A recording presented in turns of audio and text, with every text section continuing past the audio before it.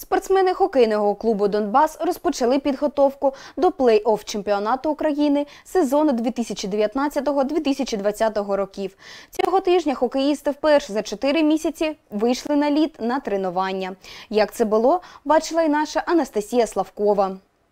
Два тренування щодня. Ігроки хокейного клубу повернулися на льодову арену Альтаїр після карантину. Тренуються по 12 хокеїстів. Сейчас тяжелые тренировки, нужно будет им потерпеть. Это они и делают, работают на 100%. Найголовніше завдання ігроків наразі повернути фізичну форму, яка була до карантину. Форма, можно так сказать, начальная. Ну, работаем над тем, чтобы с каждым днем становилось все лучше. Делаем сейчас упор на физическую подготовку.